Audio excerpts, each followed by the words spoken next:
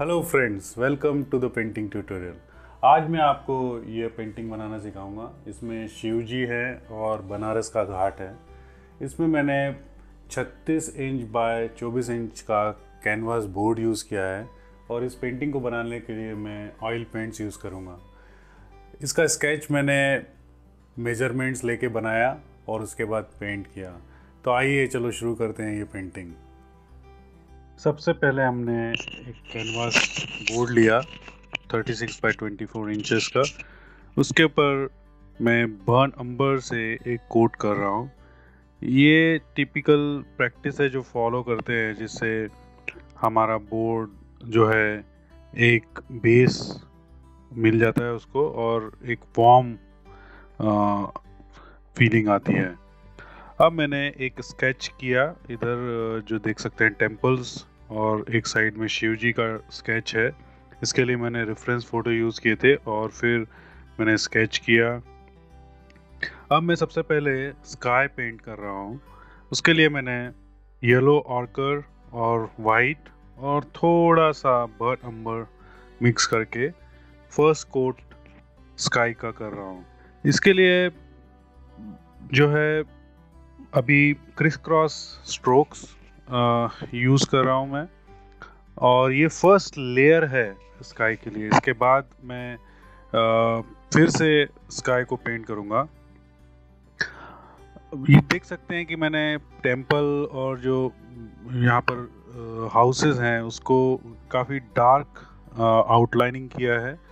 और अब उनके ऊपर मैं थोड़ा ब्राउनिश शेड मतलब बर्न अंबर का यूज़ कर रहा हूँ।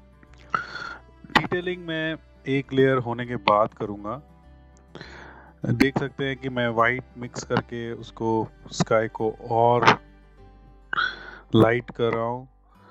अब मैंने जो हॉरिजन लाइन है टेंपल और जहाँ पर ज़मीन और रिवर जो मिल रही है, उस लाइन को मैंने मार्क किया कलर्स के साथ। और बर्न अंबर का बहुत ही हल्का हाथ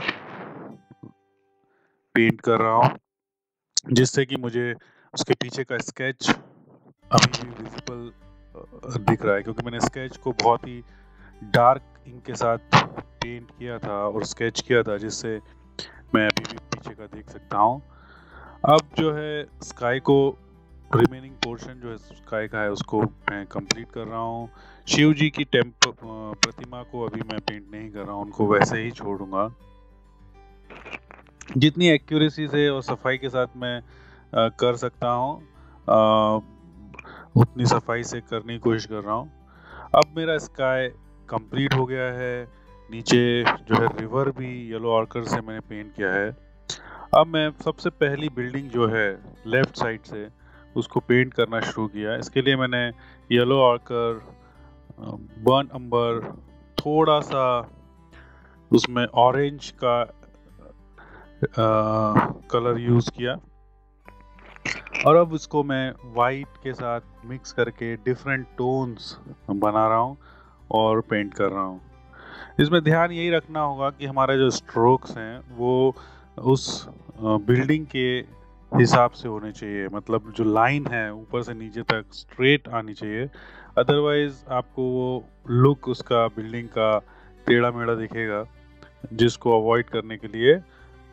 अब मैं जो एजेस हैं, जहाँ पर हाइलाइट्स हैं बिल्डिंग की, उनको मैं जो है बर्न अंबर और उसमें थोड़ा सा ब्लू मिक्स किया है, जिससे एकदम ब्लैक जैसा कलर दिखता है। मैं इस पूरी पेंटिंग में ब्लैक कलर यूज़ नहीं करूँगा। इसके लिए मैं अपने आ, कलर मिक्स करूँगा जैसे बर्न नंबर और ब्लू या बर्न नंबर और थोड़ा रेड जैसे कि ब्लैक जैसा कलर बनेगा but black exactly I am not going to use in this painting अब जो पोर्शन वाइट है उसको मैं वाइट के साथ पेंट कर रहा हूँ। आप देखते हैं स्ट्रोक्स मेरे ओरिजेंटल स्ट्रोक्स हैं जब दीवार को पेंट करता हूँ और जब कॉर्नर्स को पेंट करता हूँ तो मैं वर्टिकल स्ट्रोक्स यूज़ कर रहा हूँ। इसके लिए मैं फ्लैट ब्रश दो या तीन साइज़ का मैक्सिमम टाइम यूज़ कर रहा हूँ। और जहाँ पर भी मुझे लाइन खींचना होगा, जो डिटेलिंग पार्ट होगा, वो मैं बाद में उसमें करूँगा। अभी जो है, एक लेयर बिल्डिंग की बना के, मैं जो पास वाली बिल्डिंग है, जो लेफ़्ट साइड की जो बिल्डिंग है और जो मंदिर है, उसमें मैं बहुत डिटेल काम करूँगा, जिससे वो बहुत पास में ऐसा है अपियर करेगी। और जो बाकी के मंदिर और बिल्डिंग्स हैं, उनको मैं थोड़े फेडेड कलर के साथ डाउन टोन के साथ मैं पेंट करूँगा, जिससे वो दूर दिखाई देंगे। घर और बिल्डिंग्स और सिटी स्केप और टेम्पल्स ये बनाना बहुत ही सिंपल भी है और अगर हाथ जम जाए तो आप बहुत इजीली बना सकते हैं। इसके लिए आपको डायमेंशंस और प्रस्पेक्टिव का बहुत ध्यान रखना पड़ता है। जो बिल्डिंग पास है, वो थोड़ी डार्क टोन में रहेगी, जो थोड़ी दूर है, वो लाइट टोन में रहेगी और उसका साइज़ भी थोड़ा छोटा होता जाता है, जिसकी वजह से वो दूर दिखाई देती है। अब मैं स्टेयर्स बना रहा हूँ। इसके लिए भी अभी मैं बहुत डिटेल और क्लीन नहीं कर रहा हूँ। मैं जो भी एक अंदाजे से डार्क ब्राउन और लाइट कलर्स का यूज़ करके सीढ़ियों जैसा एक लुक दे रहा हूँ, जिसको मैं बाद में फिर से पेंट करूँगा, जिस, तब मैं उसकी काफ़ी डिटेलिंग के साथ पेंटिंग करूँगा।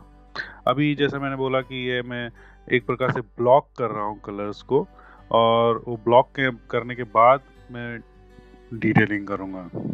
थोड़ा रेडिश कलर लिया है मैंने और उसका बॉटम रेड कलर के साथ पेंट कर रहा हूँ। अब मैंने थोड़ी थोड़ी हल्की डिटेलिंग चालू करी है। ये डिटेलिंग करने के लिए मैं जो है चॉकलेटी कलर बनाया है, जिसके लिए मैंने बर्न अम्बर और थोड़ा रेड मिक्स किया।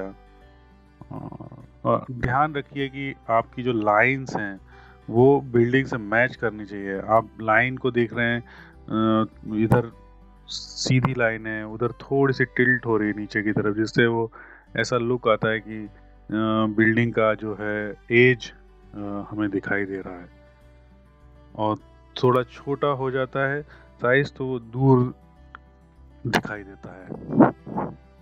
ये जो मैं पेंटिंग बना रहा हूँ, इसमें मैं इस तरह से दिखा, बताने की कोशिश कर रहा हूँ कि ये बनारस जो है सिटी, जिसमें शिव जी का वास है और गंगा है और घाट है उसके और बहुत सारे टेम्पल्स हैं।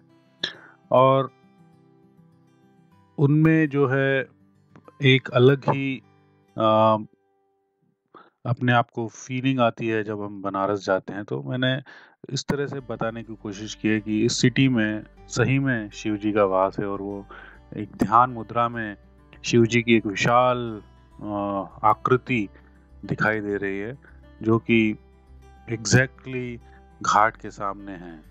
तो ये मेरे अंदर एक विचार आया जिसको मैंने सोचा कि पेंटिंग बनाई जाए। और इस तरह से मैंने इसको कंपोज किया है। इसके लिए मैंने एथनिक कलर ही यूज़ करने हैं। मैं येलो आर्कर ऑरेंज रेड इस तरह के कलर्स यूज़ करूँगा जो एक हिंदू धर्म के हिसाब से या मान्यता के हिसाब से रहते हैं। अब आप देख रहे हैं मैंने दूसरी वाली बिल्डिंग को थोड़ा पेंट करना शुरू किया। फिर से उसमें बहुत ज़्यादा डिटेलिंग नहीं कर रहा हूँ। एक फ़र्स्ट कोट जो है सेकंड लेयर सॉरी फ़र्स्ट अपन ने जो है वन अंबर के साथ किया था। सेकंड लेयर ये रिलेटेड कलर्स हैं। कलर थीम वही है। येलो आर्कर में वाइट और थोड़ा बर्न अंबर यूज़ करा है। और जहाँ ज़रूरत है वहाँ थोड़ा ऑरेंज और रेड कलर को मिक्स किया है। और जब हम इस तरह की पेंटिंग्स बनाते हैं, जिसमें हम बिल्डिंग्स को दिखाते हैं तो जैसा कि मैंने पहले भी बताया, उसके साइज़ का, उसके कंपोजिशन का, उसके कलर का कंट्रास्ट का थोड़ा ध्यान रखना पड़ता है। अगर दूर वाली बिल्डिंग में मैं डार्क कलर्स यूज़ करूँगा तो वो बिल्डिंग्स या मंदिर दूर नहीं दिखाई देंगे, वो एकदम पास आ जाएँगे। तो हमको ये दिखाना है कि जो दूर छोटे छोटे छोटे मंदिर हैं, वो बहुत दूर हैं और ये बहुत पास में हैं। और शिव जी के रिलेटिवली वो कितने दूर और कितने पास है, वो भी अपने को इस पेंटिंग में मेंटेन करना पड़ेगा। अब आप देखिए, मैं आप, अपने आप ही समझ गए होंगे कि मेरा कलर्स जो हैं, वो थोड़े डिम होते जा रहे हैं जैसे जैसे मैं दूर जा रहा हूँ।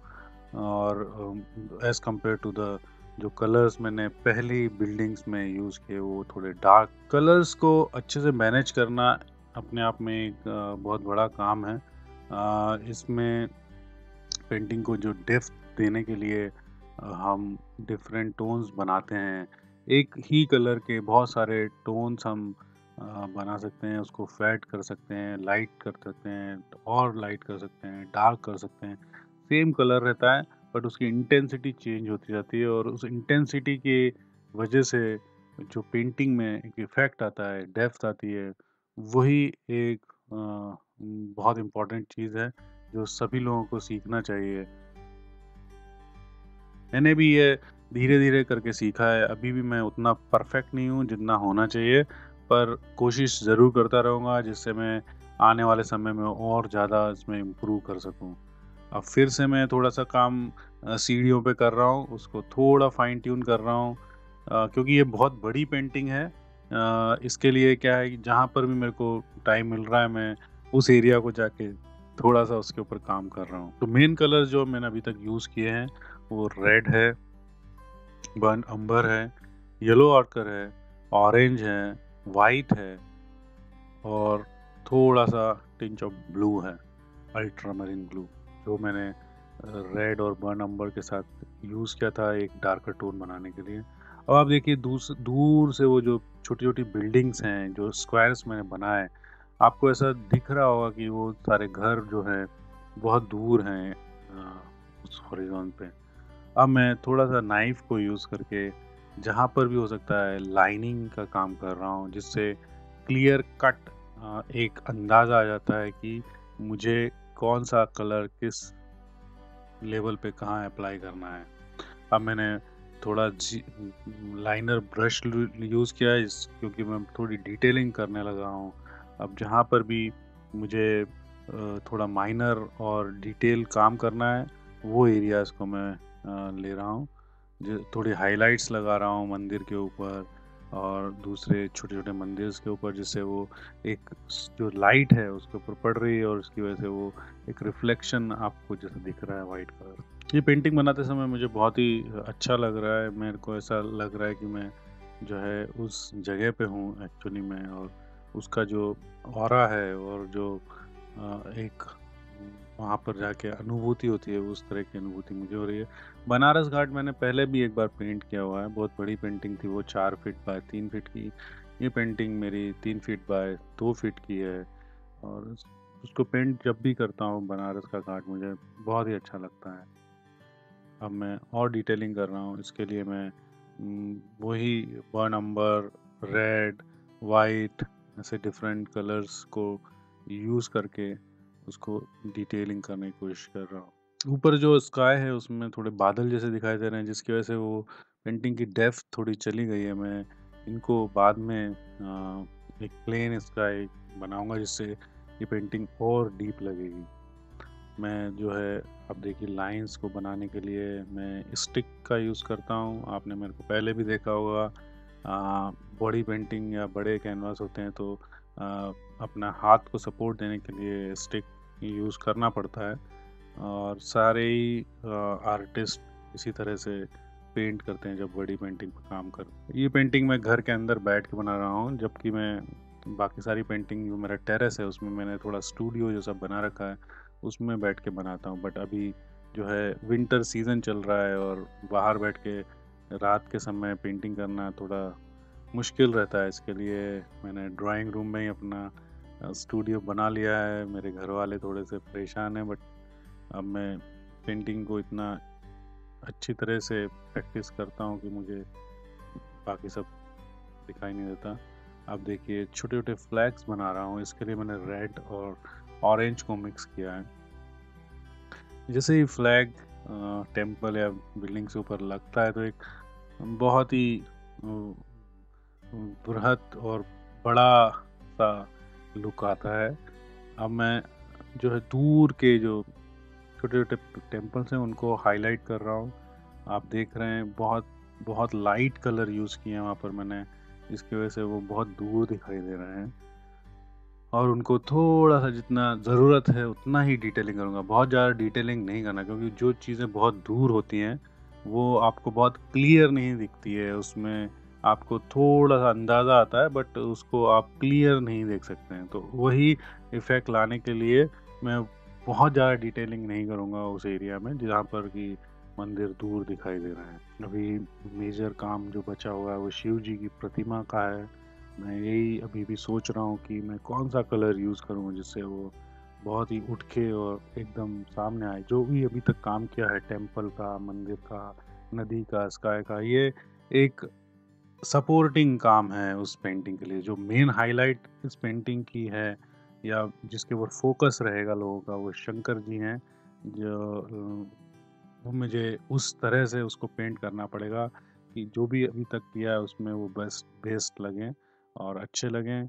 जिसके जिसके लिए मैं अभी सोच रहा हूँ कि मैं कौन सा कलर कौन सी कलर स्कीम यूज़ करूँगा, जिससे एकदम से वो इस पेंटिंग के ऊपर हाईलाइटेड दिखेंगे। बहुत ही हल्का डिटेलिंग देख रहे हैं आप और हल्के कलर को यूज़ कर रहा हूँ दूर के। बहुत खूबसूरत नज़ारा है।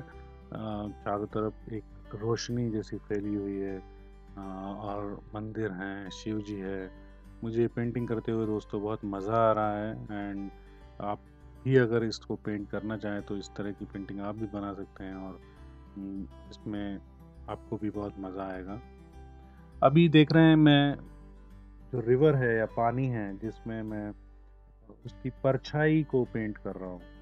जिसकी वजह से एक नेचुरल और रियल लुक आएगा।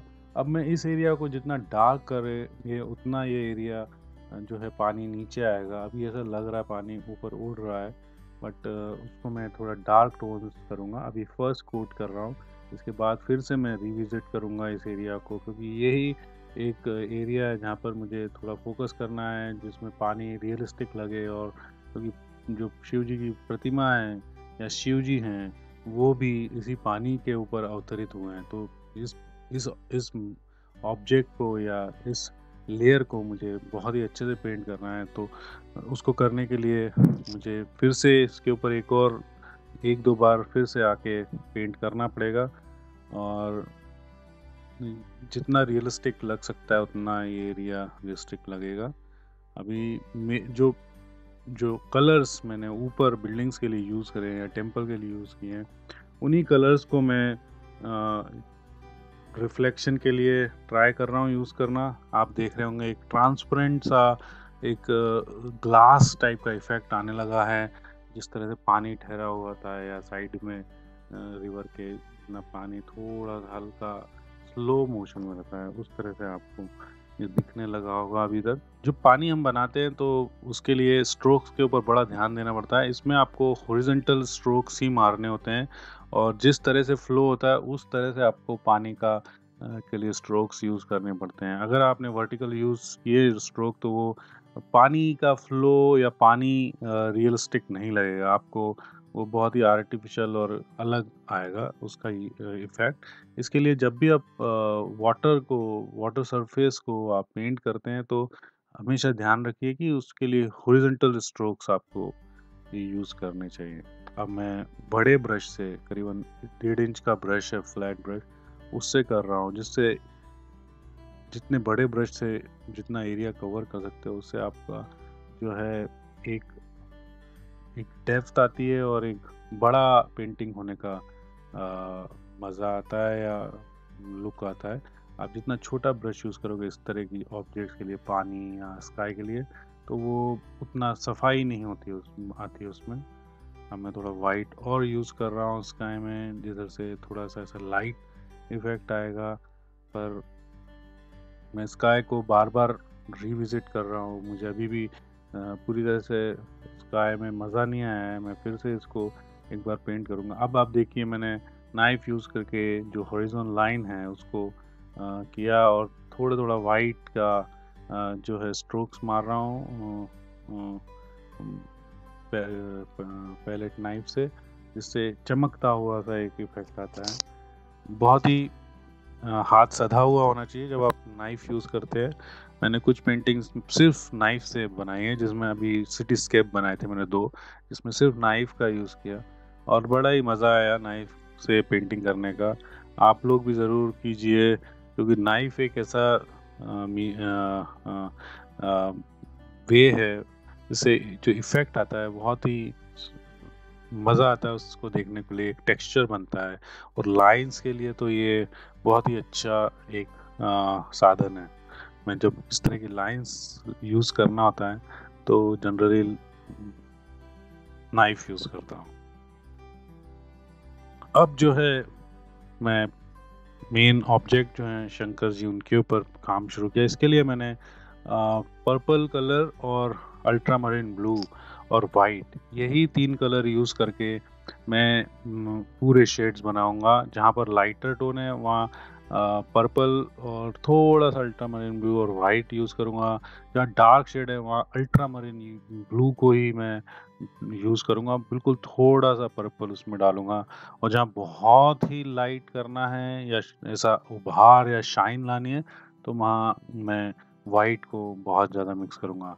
जब हम बॉडी किसी की बॉडी को पेंट करते हैं या फेस को पेंट करते हैं तो स्ट्रोक्स के बारे में थोड़ा सा ध्यान रखना पड़ता है हमें, कि हम किस डायरेक्शन में वो स्ट्रोक्स कर रहे हैं।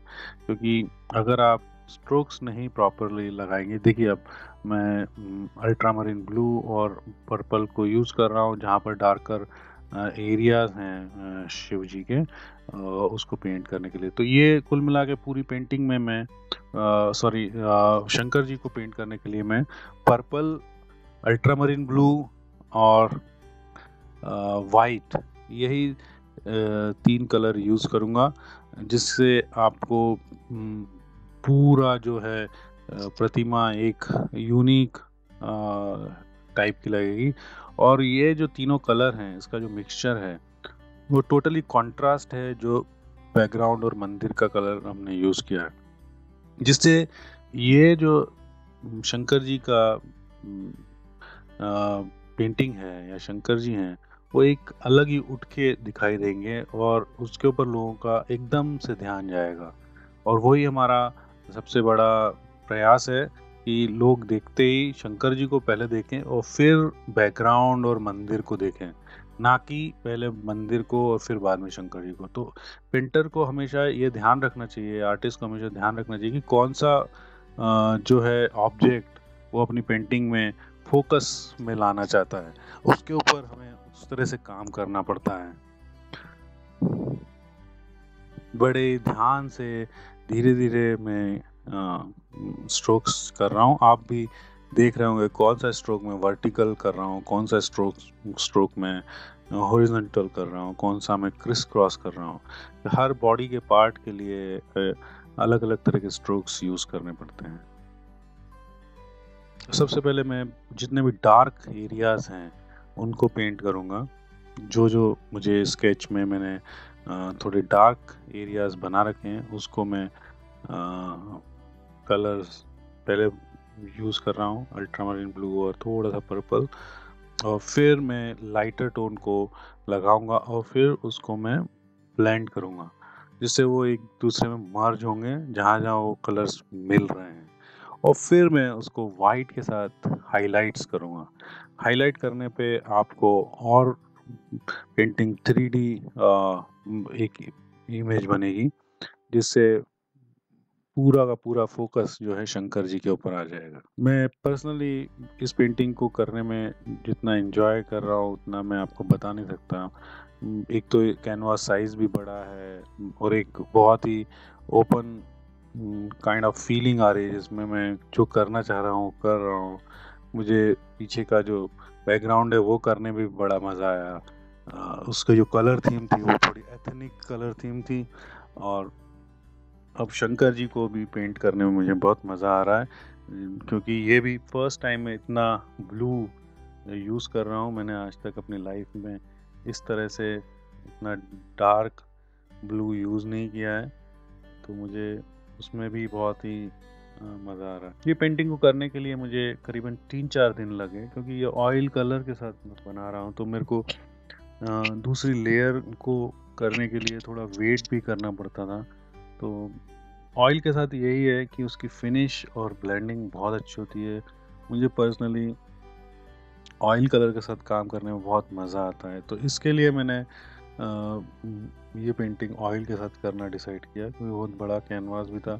और ऑयल को मैं काफ़ी सारे मीडियम्स आते हैं बट मैं जो है लिंसिड ऑयल और ड्राइंग ऑयल और थोड़ा ट्रिपेंट ऑयल ऑयल मिलाकर काम करता हूँ। टर्पेंटाइल ऑयल और ड्राइंग ऑयल से आप जब काम करते हैं तो रिलेटिवली वो जल्दी सूख जाता है एज कंपेयर टू द केवल लिंसिड ऑयल नाक, आँख और होंठ, इन तीनों का प्रपोर्शन बहुत इम्पोर्टेंट रहता है और क्योंकि ये आँखें इन्होंने बंद की हुई हैं, ध्यान मुद्रा में है तो ये और भी इंपॉर्टेंट है कि आप उसको केयरफुली करें। थोड़ा सा भी उसका प्रपोर्शन हिलता है तो पूरी की पूरी पेंटिंग आपकी नहीं लगेगी। तो ये बहुत ही इम्पोर्टेंट है कि नाक, कान और होंठ जो है बड़े ध्यान से पेंट करना पड़ता है और इसको हम और रिफाइन करेंगे, फिर से हम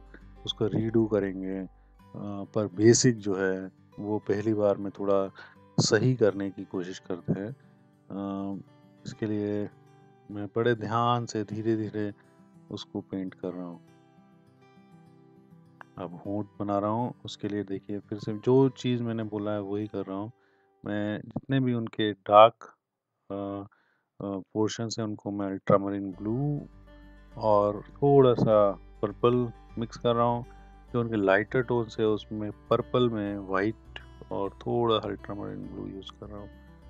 आप भी समझ जाएँगे। आप इस की जगह कोई और कलर्स भी यूज़ कर सकते हैं बट यही है कि इसमें मैंने तीन कलर टोन्स यूज़ किए हैं इंटेंसिटी यूज़ किए हैं। एक very light close to white then purple light and then ultramarine blue and जैसा कि मैंने पहले भी बताया कि इस पूरी पेंटिंग में मैंने ब्लैक कलर का यूज़ नहीं किया। मतलब बहुत सारे ऐसे आर्टिस्ट हैं जो कभी भी ब्लैक कलर नहीं यूज़ करते। ब्लैक कलर हम दो तीन कलर को मिक्स करके बना सकते हैं। जनरली मैं वन नंबर रेड और ब्लू को मिक्स करके ब्लैक बनाता हूँ और उससे पेंटिंग बड़ी फ्रेश लगती है। अगर आप जो मिलते हैं मार्केट में ब्लैक, आइवरी ब्लैक या ब्लैक यूज़ करते हैं तो पेंटिंग थोड़ी मेरे हिसाब से डल हो जाती है। उनको कंट्रोल करना थोड़ा डिफ़िकल्ट रहता है एज़ कंपेयर टू जो ब्लैक आप खुद से बनाते हैं। तो काफ़ी सारी पेंटिंग्स में मैंने पहले जो मार्केट में ब्लैक मिलता था, वो यूज़ किया। बट मुझे, मैं काफ़ी सारे बड़े बड़े आर्टिस्ट लोगों के साथ मिलता रहता हूँ तो मुझे कुछ लोगों ने, या बड़े आर्टिस्ट लोग थे जो, उन्होंने बोला कि, Subhash please try to avoid the black colour उसकी जगह आप खुद ब्लैक बनाइए दो तीन कलर को मिक्स करके। अगर आप उस तरह से मिक्स करके बनाएँगे तो आपकी पेंटिंग फ्रेश और लाइवली लगेगी। और दोस्तों, मैंने उस तरह उस फीडबैक को समझा और उसको यूज़ किया, जिसकी वजह से मैं भी देख रहा हूँ कि मेरी पेंटिंग में काफ़ी सुधार आया है। पेंटिंग दोस्तों, ऐसा नहीं है कि सबको पेंटिंग पहले दिन से बहुत अच्छे से आती है या सब कोई कर सकता है, पर ये बात ज़रूर है कि अगर आप प्रैक्टिस करते रहेंगे बड़े बड़े आर्टिस्ट और जो काम करते हैं इस फ़ील्ड में, उनसे इनपुट लेते रहेंगे तो आपका काम ज़रूर सुधरता है। ऐसी कोई भी चीज़ नहीं है जो आप नहीं कर सकते हैं। पर उसके लिए आपको थोड़ा समय देना होगा, थोड़ी प्रैक्टिस करनी होगी, जिससे आप अपना काम और ज़्यादा इम्प्रूव कर सकते हैं। आप लोगों को पता ही होगा कि मैंने कोई भी फॉर्मल एजुकेशन मेरा नहीं है, पेंटिंग से रिलेटेड। मैंने 2010 या 11 में अपने आप पेंटिंग शुरू किया, पहले वाटर कलर के साथ शुरू किया, फिर मैंने धीरे धीरे एक्रेलिक और ऑयल कलर्स के साथ यूज़ किया। आज तक मैं करीबन 170 पेंटिंग बना चुका हूँ और मैं अभी भी सीख ही रहा हूँ। मैं अपने आप को बहुत अच्छा आर्टिस्ट नहीं मानता हूँ। मुझे अभी भी बहुत कुछ सीखना है।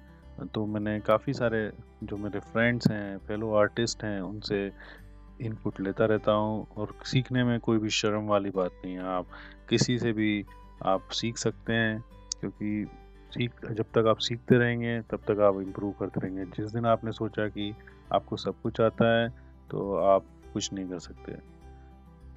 मैं पेंटिंग के अलावा जो है आईटी क्षेत्र में काम करता हूँ। मैं बहुत बड़ी कंपनी में एक अच्छे पोस्ट पे हूँ और मैं करीबन तेईस साल से आईटी में हूँ और बहुत ही हेक्टिक जॉब रहता है आईटी का। मुझे काफ़ी ट्रैवल भी करना पड़ता है और जब से मैंने पेंटिंग करना चालू किया है, मुझे बहुत ही अच्छा महसूस होता है। मैं जब भी पेंटिंग करता हूँ तो मुझे बहुत ही रिलैक्स फील होता है एज ए मेडिटेशन जैसा लगता है, और आइडियाज़ भी आते रहते हैं कि क्या पेंट करना चाहिए। तो जब भी मैं बहुत प्रेशर सिचुएशन में होता हूँ या आईटी उस साइड में जॉब में मेरे को प्रेशर रहता है तो मैं थोड़ी पेंटिंग भी कर लेता हूँ बीच बीच में, जिससे मुझे बहुत अच्छा लगता है। और जैसा कि मैंने बोला, मैं ट्रैवल करता रहता हूँ इंडिया में इंडिया के बाहर तो मैं अपने साथ एक छोटा सा बैग लेके जाता हूँ, जिसमें छोटे कैनवास एक्रेलिक कलर्स और ब्रशेज़ वगैरह रहते हैं। तो जब भी मेरे को टाइम बाहर भी मिलता है वीकेंड्स पे या लेट नाइट तो मैं थोड़ा थोड़ा पेंटिंग वहाँ भी बैठ के करता रहता हूँ, जिससे मन भी लगा रहता है और अपनी हॉबी भी कैरी होती है। तो कुछ पेंटिंग अभी मैंने ढाका में जब मैं था तो करीबन तीन दो तीन महीने से मैं ढाका में काफ़ी ज़्यादा आया कर रहा था। एक प्रोजेक्ट का काम चल रहा था, जिसकी वजह से मैं ढाका जाना पड़ता था। तो मैं वहाँ पर बैठ के दो पेंटिंग्स बनाई तीन महीने में। लोगों को भी पसंद आता है और मुझे भी अच्छा लगता है। अब आप देखिए, मैं लाइट टोन्स को डाल रहा हूँ क्योंकि डार्कर टोन्स का काम ऊपर वाले पोर्शन में कंप्लीट हो गया है। लाइट में भी दो हैं, एक बहुत ही वाइट साइड में है और एक थोड़ा सा डार्क साइड में है। बट उतना डार्क नहीं जितना अल्ट्रा मरीन ब्लू का इस पेंटिंग में काफ़ी कुछ है करने को।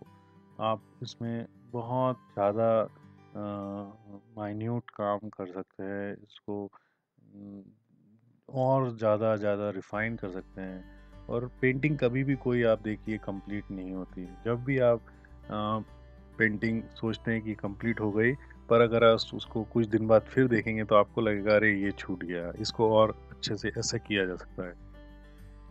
जो कि मेरे साथ अक्सर होता है। मैं सोचता हूँ कि ये पेंटिंग कंप्लीट हो गया, पर जब मैं कुछ दिनों बाद या कुछ महीनों बाद उसी पेंटिंग को देखता हूँ तो मुझे लगता है कि, अरे, ये भी और कर सकते थे यार ये रह गया या इसकी जो है डिटेलिंग थोड़ी और रह गई है या यू नो तो हर पेंटिंग जो कितना भी बड़ा आर्टिस्ट हो उसमें कुछ ना कुछ काम आप ज़रूर कर सकते हैं।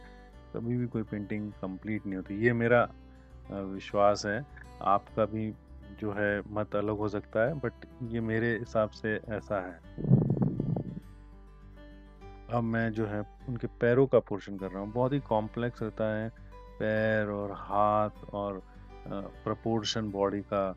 इसके लिए मैंने, देखिए आप स्क्वायर्स यूज़ किए थे, मैंने ऐसा नहीं है कि मैं स्केच डायरेक्ट नहीं कर सकता, पर परफेक्ट एक पोज और उसके जो है प्रोपोर्शन लाने के लिए मैं इस तरह की जो पेंटिंग्स करता हूँ, जो बड़ी है, जिसमें टाइम लगने वाला था मैं स्क्वायर्स और ग्रिड टेक्निक को यूज़ करता हूँ, इसमें कोई बुराई नहीं है।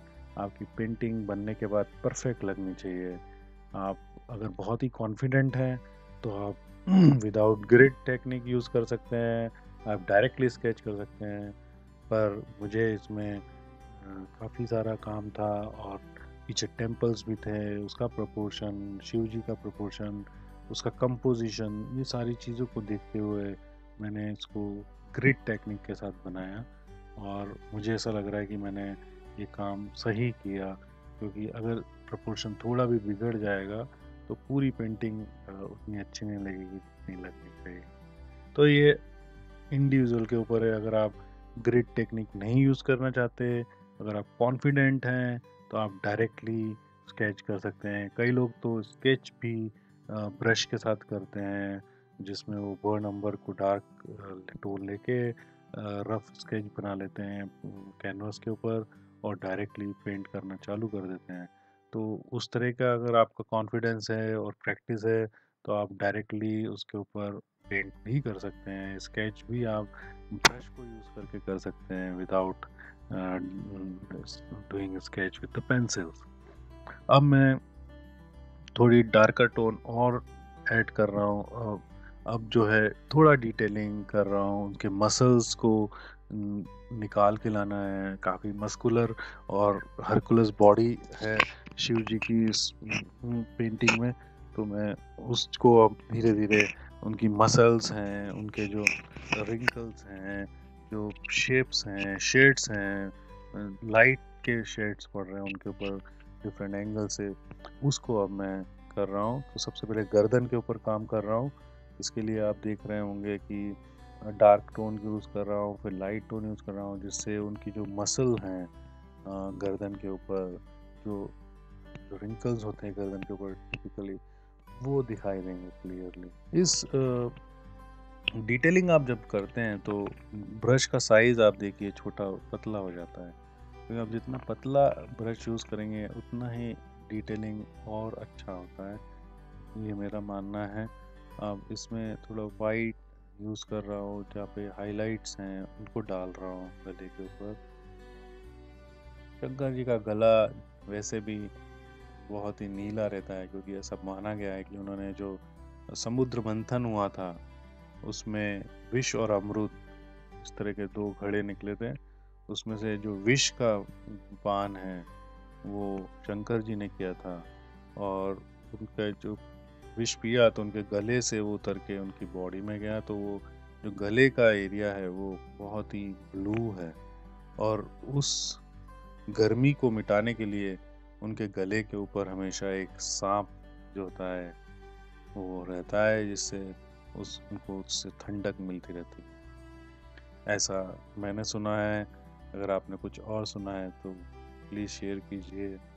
शंकर जी अपने आप में महाशक्ति हैं और वो तीन देवताओं से जिन्होंने निर्माण, नियंत्रण और डिस्ट्रॉय तो ये विनाशक के रूप में भी माने जाते हैं। जब पृथ्वी पे बहुत पाप बढ़ जाता है तो ये आके अपना तांडव दिखाते हैं और एक डिस्ट्रॉयर के रूप में जाने जाते हैं। जब वो शांत रहते हैं तो एकदम शांत रहते हैं। अभी मैं जो पोज उनका बना रहा हूँ, उनके ऊपर जो भाव है चेहरे के ऊपर, वो एक शांति का भाव लाने की कोशिश कर रहा हूँ। पर जब उन्हें गुस्सा आता है और उनकी जो तीसरी आँख है, अब मैं वही बनाने की कोशिश कर रहा हूँ उनकी आँख जो है तीसरी आँख वो उनके माथे पे वो जब खुलती है तो सारी चीज़ें नष्ट हो जाती हैं। और उनका जो तांडव है, वो बहुत ही प्रसिद्ध है उनको नटराज भी कहा जाता है। वो बहुत अच्छा नृत्य आता है, जो भरतनाट्यम शैली है नृत्य की। वो शिव से ही इंस्पायर्ड है और उनके जो पोजेस हैं नटराज के, वो भी बहुत फ़ेमस हैं, जो दोनों हाथ एक दूसरे के ऊपर और पैर हवा में जो उनका नटराज पोस्चर है, वो काफ़ी फ़ेमस है। उनके सिर में गंगा नदी है, जब गंगा को स्वर्ग से नीचे लाया गया तो जब डायरेक्ट पृथ्वी पे गिरती तो प्रलय आ सकता था। तो शिव जी ने गंगा को अपनी चोटी में धारण किया और वहाँ से फिर गंगा पूरे भारतवर्ष में बहती है धीरे धीरे करके। इसके लिए गंगा उनके सिर में हमेशा रहती है। उनके माथे पे या सिर पे चंद्रमा भी रहता है। वो भी उनका एक पहचान या चिन्ह है या शिव जी का। सिर पे चंद्रमा, गले में सांप, हाथ में डमरू और त्रिशूल और साथ में नंदी। ये कुछ ऐसे प्रतीक हैं जिसकी वजह से हम पहचान जाते हैं कि शिव जी, उनको भोलेनाथ भी कहा जाता है। क्योंकि जो शिष्य, जो भक्त उनकी तपस्या करता है और उनको मना लेता है, तपस्या से जागृत कर लेता है, वो को जो चाहिए वो वरदान दे देते हैं। इसके लिए उन्हें भोले बाबा भी कहा जाता है। इनका वास कैलाश जो पर्वत है, वहाँ पर बोला गया है कि दो पुत्र है एक गणेश जी और एक कार्तिकेय। तो मैंने दोस्तों शंकर जी की ये पेंटिंग बना रहा हूँ। मैंने इसके पहले माँ काली की भी पेंटिंग बनाई है और गणपति बप्पा की तो बहुत सारी पेंटिंग बना चुका हूँ। पूरी लगभग फैमिली मैं बना चुका हूँ और बना रहा हूँ। आगे भी बनाता रहूँगा। मुझे बहुत अच्छा लगता है। कुछ जो हमारे भगवान हैं मुझे बहुत ही इंस्पायर करते हैं। माँ काली उनमें से एक है, शंकर जी, गणपति जी, हनुमान जी श्री राम कृष्ण, सभी जो है मुझे बहुत ही इंस्पायर करते हैं और मुझे बहुत ही सुकून मिलता है जब मैं उनके टेम्पल्स में विज़िट करता हूँ या जाता हूँ। अभी आप देखिए चेहरे का पोर्शन मैंने लगभग कंप्लीट कर लिया एक बार फिर से मैं रिविज़िट करूँगा। पर अब मैं जो है मिडिल बॉडी जो बीच का उनका शरीर है, उसके ऊपर फोकस कर रहा हूँ। जैसा कि मैंने पहले बताया कि मैं, उनकी जो मसल्स हैं, उनको पेंट करूँगा। उसके लिए मैं डार्क लाइट और लाइटर टोन्स को यूज़ करके उनकी जो नसें हैं, उनकी जो मसल्स कट्स हैं, उसको पेंट कर रहा हूँ। काफ़ी ही हरकुलस टाइप की उनकी बॉडी है। शरीर है तो उसको जस्टिस करने के लिए मैं कर रहा हूँ। और जैसा कि मैंने शुरू में ही बताया था, ये पेंटिंग शंकर जी को जब मैं पेंट कर रहा हूँ तो सिर्फ़ तीन कलर यूज़ कर रहा हूँ। Purple colour ultramarine blue colour and white colour इसके अलावा मैंने कोई कलर यूज़ नहीं किया। दोस्तों, जब हम आर्ट सीखते हैं पेंटिंग सीखते हैं फॉर्मली ग्रेजुएशन पोस्ट ग्रेजुएशन तो उसमें एनाटॉमी करके एक सब्जेक्ट है, जिसको काफ़ी प्रैक्टिस किया जाता है, जिसमें ह्यूमन बॉडी के फीमेल मेल शेप्स उनके जो है रिदम उनके प्रोपोर्शन उसके ऊपर काफ़ी स्टडी की जाती है और उनको काफ़ी प्रैक्टिस किए, कराई जाती है। तो जब भी हम फिगरेटिव पेंटिंग बनाते हैं या किसी ह्यूमन फिगर को पेंट करना होता है इवन जानवर को भी आ, किसी भी एनिमल को पेंट करने को बड़ा ही ध्यान रखना पड़ता है कि प्रपोर्शन क्या है। अगर आप मेल और फीमेल बॉडी में देखेंगे तो जो प्रपोर्शन है वो काफ़ी डिफरेंट रहते हैं। जो पोजिशन पोश पोस्चर्स हैं उनके वो काफ़ी डिफरेंट रहते हैं। दो दोनों ही मनुष्य जाति है बट फीमेल और मेल इनकी बॉडीज़ में भी काफ़ी अंतर रहता है। और यही डिटेलिंग आपको स्केच बनाते समय ध्यान रखनी पड़ती है, क्योंकि आप जब स्केच अच्छा बनाएँगे किसी भी बॉडी का, किसी भी ह्यूमन बींग का या फिगर का तो उसके ऊपर कलर कर से आप उसको और रिफाइन कर सकते हैं। अगर आपका स्केच ही अच्छा नहीं बना है, से फॉर एग्ज़ाम्पल उनका चेहरा उनकी बॉडी के हिसाब से बड़ा बना है या हाथ बॉडी के हिसाब से बड़ा बना है या छोटा बना है या पंजे छोटे बने हैं उससे पूरा का पूरा जो फिगर है, वो बिगड़ जाता है और फिर आप पेंटिंग करते समय उसको नहीं सुधार सकते। तो जब आप स्केच बनाते हैं तो आपको इन सब चीज़ों का ध्यान रखना होता है। उसका बैलेंस कैसा है? उसका प्रोपोर्शन कैसा है? उनके हथेलियाँ का साइज़ क्या है? उनकी आँखों का साइज़ क्या है? आँखें, नाक और लिप्स सही प्रोपोर्शन में है कि नहीं है? उनके जो धड़ है उसका साइज़ कैसा है? लेग्स कैसे हैं? आड़े तिरछे तो नहीं है। मतलब आपको थोड़ा सा उसके ऊपर काम करना चाहिए। जब भी मेरे को मौका मिलता है, मैं स्केच करता रहता हूँ। जो मेरे सराउंडिंग में लोग हैं, उनको देखकर कहीं बैठा हुआ तो वहाँ पर भी स्केच मैं बनाता रहता हूँ। एक छोटी सी डायरी है मेरी और मेरी पेंसिल रहती है हमेशा मेरे साथ।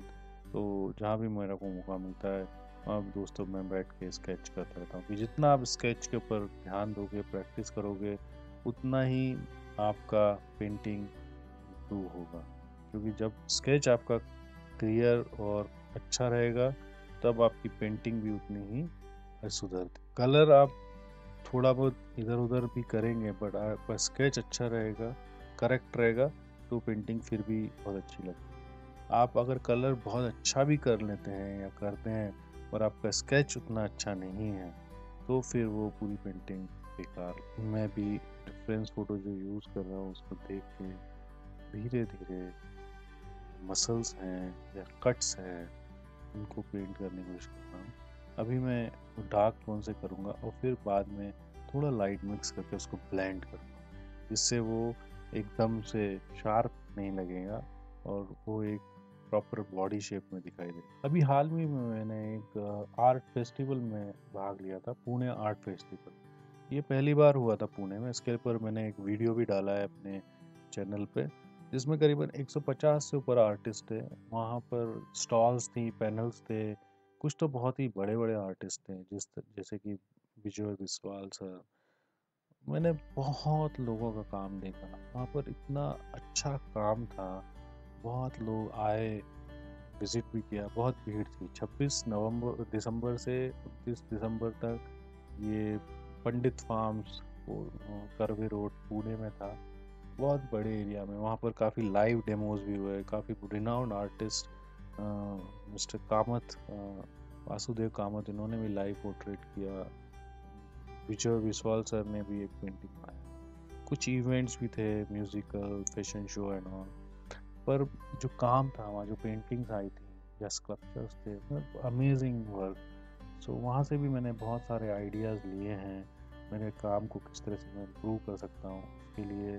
तो इस तरह के जो इवेंट्स होते हैं, उसमें आप काफ़ी कुछ सीखते हैं एज ए आर्टिस्ट और as a art lover also बहुत सारी चीज़ें होती हैं देख सकते हो। जो नया नया काम है डिफरेंट लोगों का अलग अलग जगहों से जो काम करते हैं बहुत ही अलग ही माहौल था। वहाँ चार दिन कैसे गए, मेरे को समझ में नहीं आया। मेरी भी स्टॉल थी, स्टॉल नंबर एटी वन।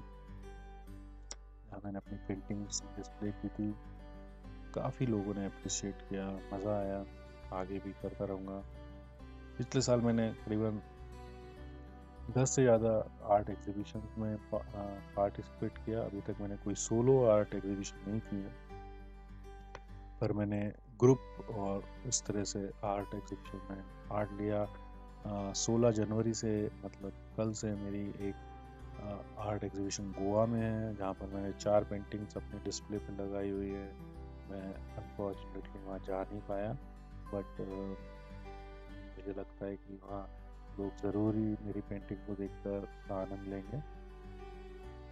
मेरा अपकमिंग आर्ट एग्जिबिशन जो है सोलह फरवरी को है। वो बाल गंधर्व पुणे में जहाँ पर बहुत सारे आर्टिस्ट पार्ट ले रहे अब जो है नीचे की साइड के हाथ का मसल्स ड्रॉ कर रहा हूँ।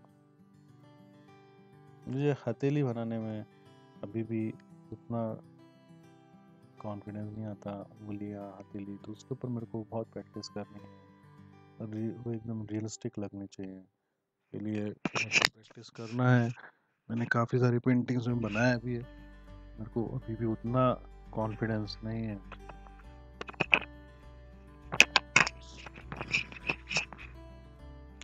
अब उनके पेट का नीचे का हिस्सा है, उसको डार्कर टोन के साथ कवर कर रहा हूँ, जिससे वो एक शेडो आएगा हाथ के कारण। अब उनका जो है ब्रेसलेट बना रहा हूँ। उसी तीन कलर के साथ white lighter purple and ultramarine blue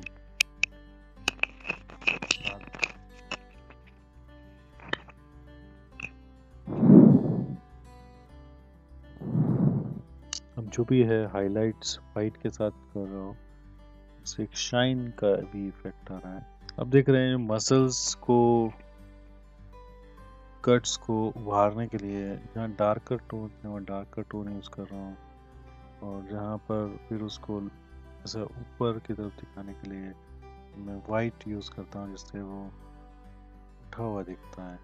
उनका फेस आप देखिए तो कितना ही शांत और संयम से भरा हुआ फेस दिख रहा है।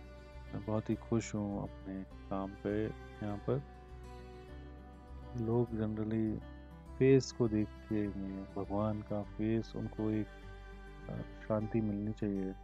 एक राजा रवि वर्मा का नाम आपने ज़रूर सुना होगा। और उनके ऊपर एक मूवी भी बनी है।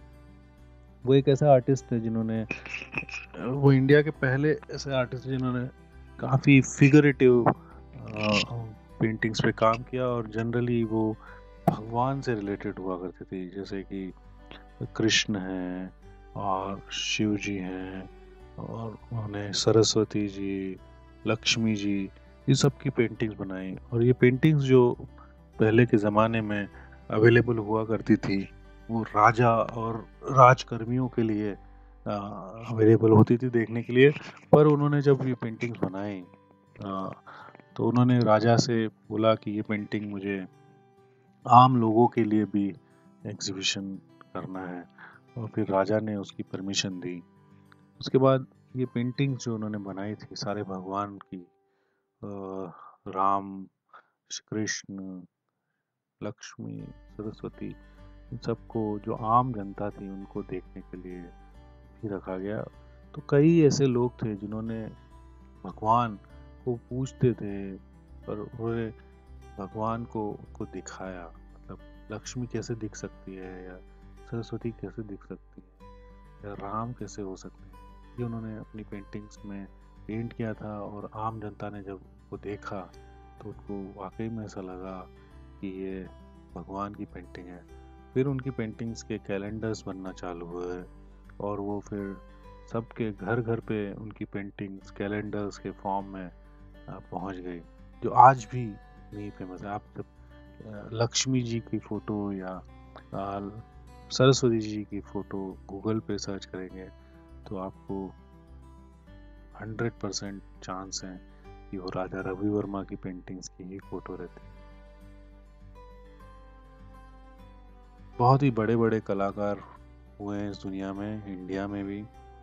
मैं रवि वर्मा जी की पेंटिंग्स को बहुत ही सराहता हूँ। मतलब मुझे बहुत अच्छी लगती है उनकी जो सारी पेंटिंग्स हैं, वो अवेलेबल हैं देखने के लिए नेट के ऊपर, आप ज़रूर देखिएगा। दोस्तों, मैंने करीबन 60 से ऊपर अभी तक वीडियोस पोस्ट किए हैं और करीबन 1350 के आसपास मेरे सब्सक्राइबर्स हैं। मैं ये रिक्वेस्ट करूँगा कि अगर आपको पसंद आता है यूट्यूब चैनल तो आप प्लीज़ सब्सक्राइब कीजिए अगर आपने नहीं किया है तो। और भी अपने फ्रेंड्स और फैमिली को बताइए इस चैनल के बारे में, क्योंकि इस चैनल में मैं आपको वही दिखाता हूँ जो मैं कर रहा हूँ। और मैं भी पेंटिंग्स को प्रैक्टिस करता हूँ, सीखता हूँ, और जो सीखता हूँ वो आपको मैं इस चैनल में दिखाता हूँ। तो मेरा प्रयास यही है कि ज़्यादा से ज़्यादा लोग पेंटिंग सीखें। इसके लिए ज़रूरी नहीं है कि आप बहुत हाई लेवल पे कहीं सीखें या कॉलेजेस में जाएँ, आप अपने आप से भी ट्राई कर सकते हैं, सीख सकते हैं और समझ सकते हैं क्योंकि आजकल जो है काफ़ी सारी चीज़ें नेट के ऊपर अवेलेबल है, जिससे आप देखकर उसको प्रैक्टिस कर सकते हैं और सीख सकते हैं, जो कि मैं भी करता हूँ और मुझे भी सीखने के लिए जब कोई चीज़ चाहिए होती है या कुछ सीखना होता है तो मैं नेट पे जाके उसको देखता हूँ और सीखता हूँ। कुछ मेरे फ्रेंड्स भी हैं, कुछ आर्टिस्ट फ्रेंड्स भी हैं जिनसे मैं बात करता रहता हूँ और उनसे भी इनपुट लेता रहता हूँ। तो सीखना जो है बहुत इम्पोर्टेंट है जो मैंने पहले भी कहा। अगर आप सीखना बंद कर देते हैं तो आप फिर स्टेगनेंट हो जाते हैं, फिर आप उतना आगे नहीं बढ़ सकते हैं। तो हम लोगों को अपने जॉब में आईटी के जॉब में भी यही सिखाया गया क्योंकि टेक्नोलॉजी हर दो साल में चेंज हो जाती है और आप नई टेक्नोलॉजी को नहीं सीखते हो तो आप फिर मार्केट के लिए रिलेवेंट नहीं रहते हो। तो ये बहुत इंपॉर्टेंट है कि आप अपने आप को हमेशा इम्प्रूव करते रहिए, सीखते रहिए। जहाँ आपने सीखना बंद किया और वहाँ आपका पतन चालू हुआ, सीखने के साथ आप प्रैक्टिस भी ज़रूर कीजिए। जो आपने पुराना सीखा है, उसको भी आप प्रैक्टिस करते रहिए, जिससे आप अपने बेसिक्स को कभी नहीं भूलते और उसके ऊपर आप इम्प्रूव करते रहते हैं। अब मैं उनकी रुद्राक्ष की जो माला है वो बना रहा हूँ। इसलिए फिर से अल्ट्रामरीन ब्लू ही यूज़ कर रहा हूँ। अब फिर से मैं हाईलाइट कर रहा हूँ उनकी जो आ, उनके जो मनके हैं भुजा पे जो लगाए हुए हैं वो भी रुद्राक्ष के होते हैं। उनको बना रहा हूँ।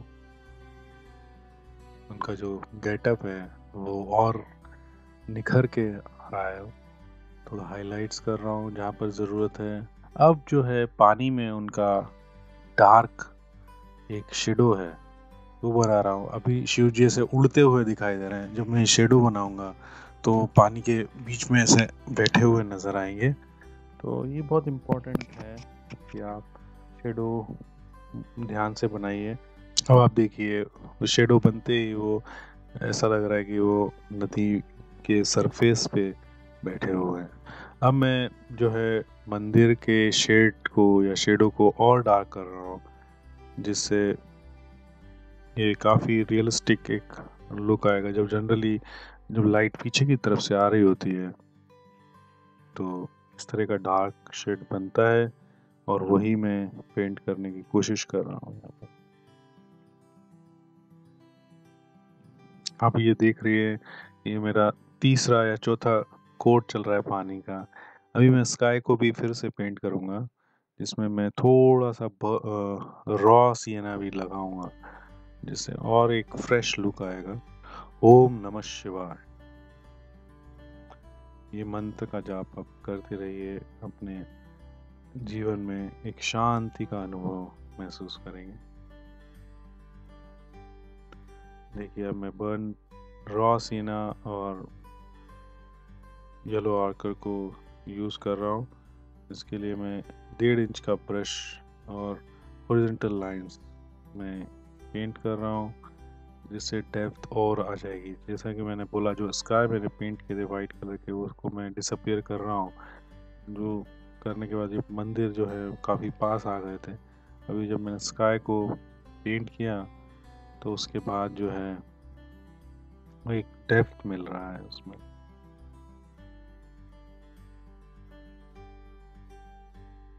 जब आप इस तरह से पेंटिंग के बाद फिर से रीपेंट करते हैं तो आपको बड़ा ध्यान दे के पेंट करना पड़ता है, क्योंकि बाकी जो ऑब्जेक्ट्स हैं, वो ना उसमें बिगड़ जाए, क्योंकि ऑयल कलर इतने जल्दी सूखते नहीं हैं।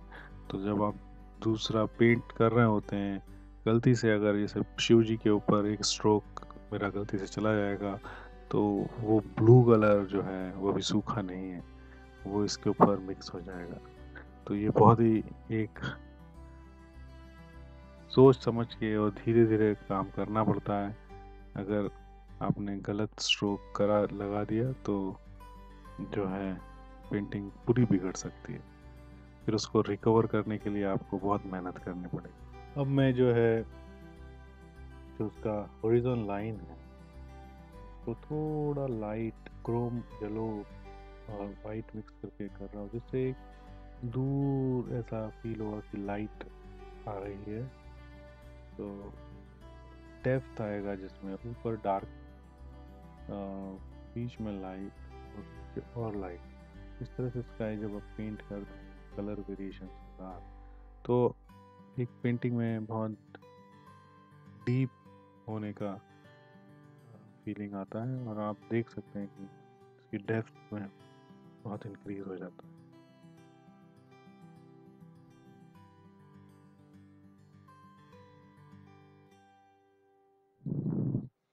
जैसा कि अभी मेरे को पेंटिंग करते समय थोड़ा सा बचाना पड़ रहा है शिव जी का ब्लू कलर नहीं मिक्स हो जाए। इसके लिए जहाँ ज़रूरत है, वहाँ मैं छोटा ब्रश भी यूज़ कर रहा हूँ। तो इससे मैं और क्लीन और माइन्यूट काम कर पा रहा हूँ। बड़े ब्रश से उतना पॉसिबल नहीं होता है क्योंकि कलर मिक्स होने के चांसेस ज़्यादा होते हैं। ब्लेंड करने के लिए मैं बड़े ब्रश को यूज़ कर रहा हूँ। और इस तरह से लगभग ये पेंटिंग कंप्लीट हो गई है। अगर आपको पसंद आई होगी तो लाइक कीजिए शेयर कीजिए इस वीडियो को अपने फ्रेंड्स को जो सीखना चाहते हो painting thank you very much for your patience आप देखते रहिए और अगर आपने सब्सक्राइब नहीं किया है मेरा चैनल तो प्लीज़ सब्सक्राइब कीजिए। थैंक यू वेरी मच तो दोस्तों, आपने देखा कि इस पेंटिंग को मैंने किस तरह से कंप्लीट किया। इसमें मैंने तीन लेयर में काम किया। पहले मैंने स्काई किया, फिर जो है टेम्पल्स को बनाया, फिर शिव जी को बनाया और फिर उसको फाइन ट्यून करके एक लेयर और डाला, जिसमें मैंने स्काई और मंदिर को काफ़ी डिटेलिंग किया उसके बाद। आप बने रहिए इस चैनल पे, देखते रहिए। मैं एक के बाद एक वीडियोस पोस्ट करता रहता हूँ। अगर आपने मेरा चैनल सब्सक्राइब नहीं किया तो प्लीज़ सब्सक्राइब कीजिए और इन्जॉय कीजिए पेंटिंग मेरे साथ। Thank you